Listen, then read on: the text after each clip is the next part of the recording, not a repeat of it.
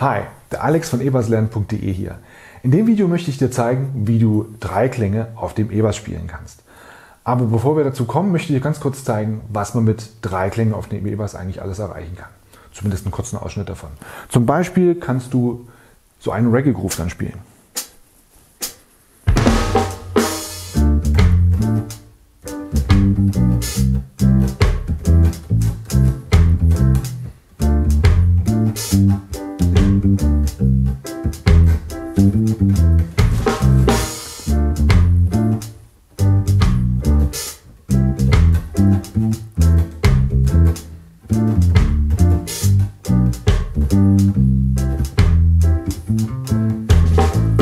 Oder zum Beispiel so einen Rockruf.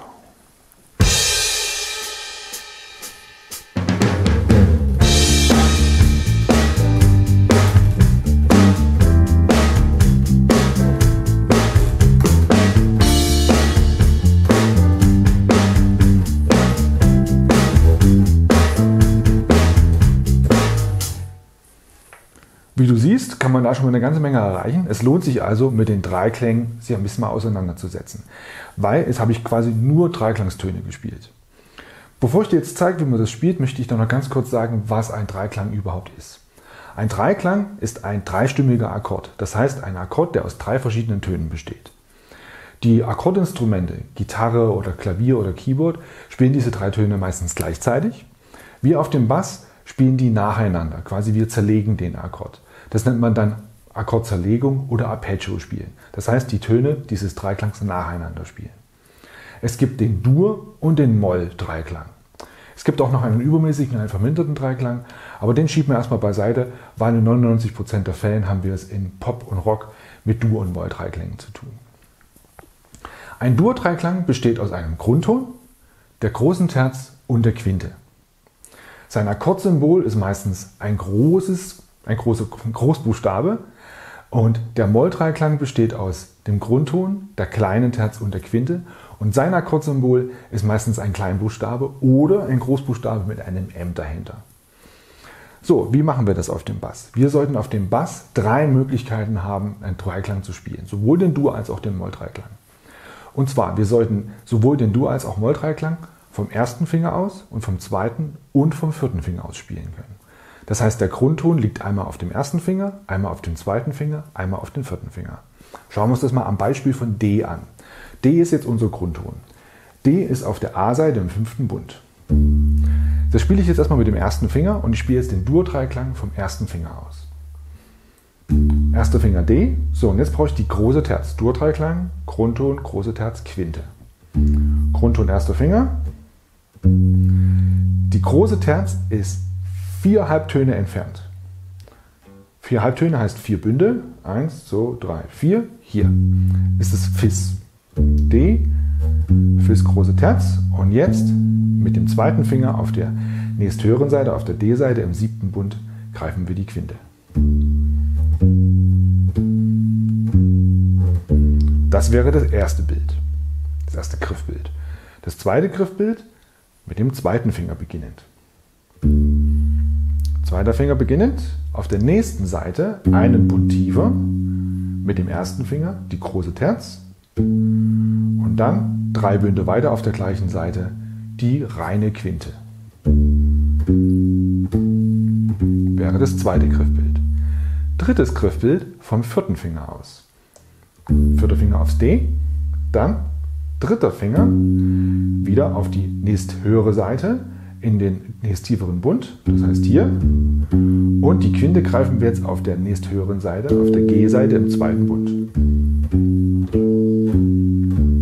So, das sind die drei Möglichkeiten, das zu spielen.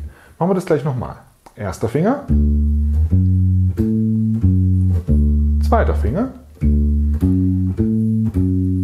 und dritter Finger.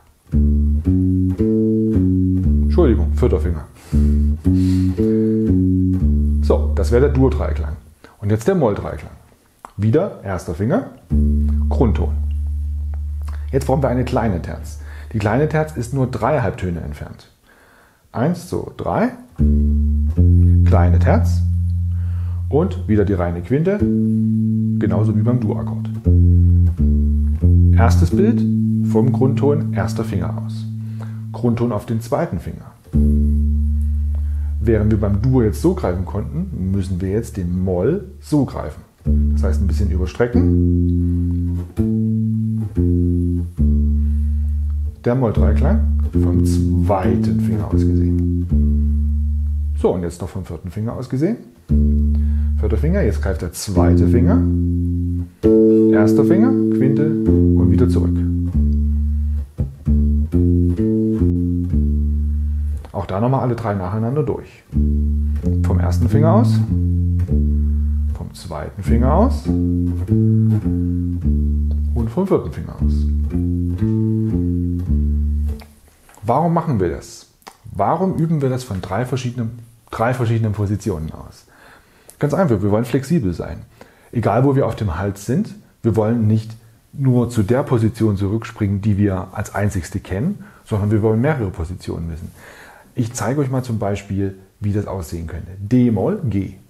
D-Moll Dreiklang vom ersten Finger. Jetzt habe ich hier das G. Kann ich auch das vom ersten Finger spielen.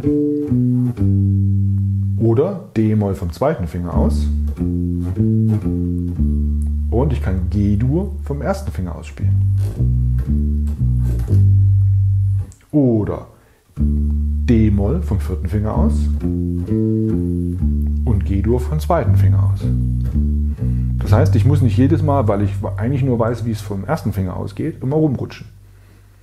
So, jetzt müsstest du eigentlich als nächstes dir einfach ein Stück nehmen und die Akkorde, Großbuchstaben Dur, Kleinbuchstaben Moll oder Großbuchstaben mit M dahinter Moll. Das kann ein Stück sein, was du in deiner Band spielst. Das kann ein Stück sein, was du im Songbook findest. Das kann ein Stück sein, was du im Internet, wo du die Akkorde im Internet findest. Einfach nehmen, entweder das ganze Stück oder ein Teil vom Stück und dann schaust du dir die Akkorde an und spielst die Dreiklänge und versuchst dazu Basslinien zu entwickeln und die Töne oder die, die Akkord, die Basslinie, die du spielst, neben den Grundtönen mit Tönen von dem Dreiklängen, also quasi der Terz und der Quinte zu erweitern. Viel Spaß damit! Ich hoffe, ich konnte ein paar Anregungen geben, wie du mit den Dreiklängen deine Basslinien ein bisschen erweitern kannst.